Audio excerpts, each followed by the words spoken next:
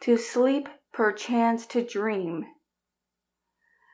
It is during REM sleep that we have dreams, and the characteristics of REM sleep include rapid eye movements, cortical activation, vivid dreaming, skeletal muscle paralysis, and muscle twitches.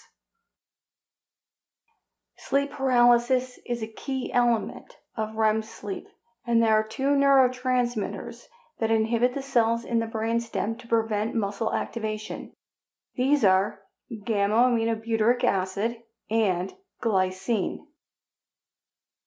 Ouch! There are two REM sleep disorders. Cataplexy is when REM sleep paralysis occurs during wakefulness.